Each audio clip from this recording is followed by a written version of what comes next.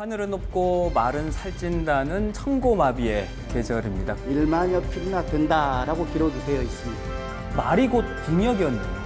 전마가 필었을 때 아주 가뭄 속에서 담비를 맞은 듯한 기분이 들잖아요. 제주의 역사는 말의 역사라고 헌마 공신 김만일입니다.